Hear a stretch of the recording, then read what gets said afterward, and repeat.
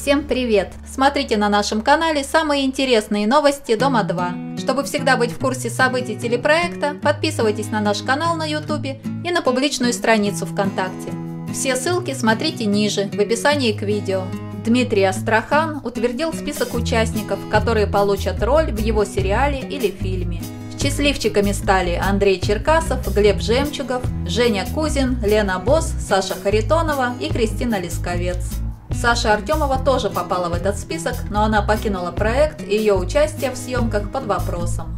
На проект приезжал Алекс Гулиев. Он увиделся со старыми и новыми участниками. Также он встретился с руководством проекта. Продюсер Алексей Михайловский пообещал помочь ему найти деньги на лечение брата. Преподаватели школы актерского мастерства и танцев собираются в отпуск. Прошел последний день репетиций. Наталья Бичан пишет, Мальчишки как с ума посходили. Один кофе принес, другой на Сейшельские приглашал, третий пел, другой танцевал, шутил и так далее. Видно было, что ребята не хотят меня отпускать. Я очень рада отпуску, но буду скучать. Семен Фролов и Руслана Мишина улетели на Сейшелы. Их отношения очень стремительно разбивались, они быстро стали парой, заселились, а теперь у них произошла и первая крупная ссора.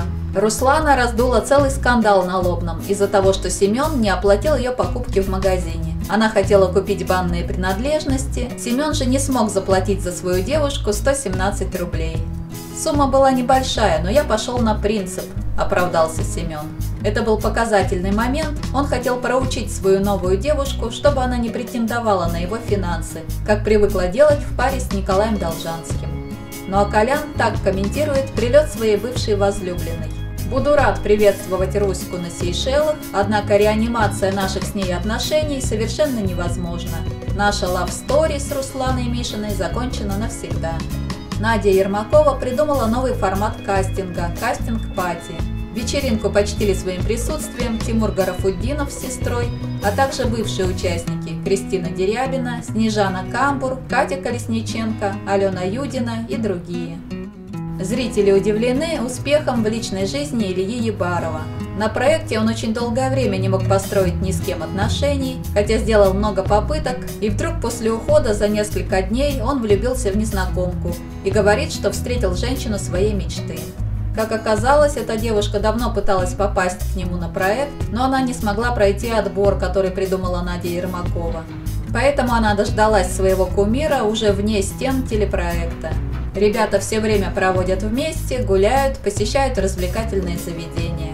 Нерадостные известия поступили от бывшей участницы проекта Светланы Устиненко. Она перенесла очередную операцию по удалению опухоли, что только ухудшило ее состояние. «Я нахожусь в полной растерянности», – делится Устиненко.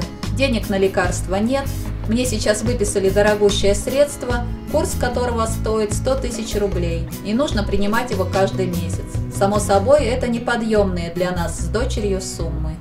Александр Задойнов впервые рассказал в интервью о расставании с Элиной, как ему живется одному и чем он сейчас занимается в Ярославле. Он сказал, «Мы с Элиной любим друг друга, но как друзья и родители общей дочки. Общение наладилось, теперь мы не ругаемся.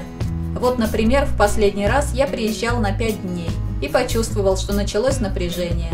Обратно уехал и опять мир в отношениях. Мы постоянно переписываемся, болтаем в скайпе. Элина мне рассказывает последние новости про дочу, я ей про ремонт. На этом все. Спасибо, что были с нами. Ставьте лайки, комментируйте, подписывайтесь на наш канал на YouTube и на публичную страницу ВКонтакте. Ссылка есть в описании к видео. Всего вам доброго!